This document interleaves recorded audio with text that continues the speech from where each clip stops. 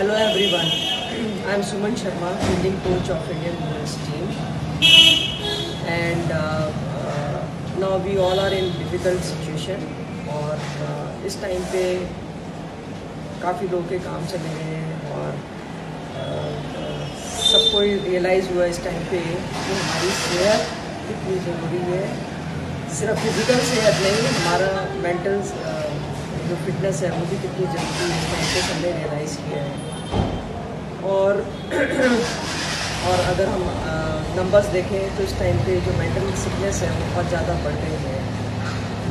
तो ऐसे टाइम पर हमारे को अपनी फिटनेस पे और हमारे मेंटल फिटनेस पे भी काम करना बहुत ज़रूरी है।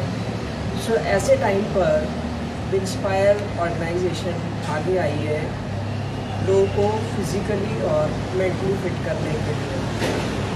So just inspire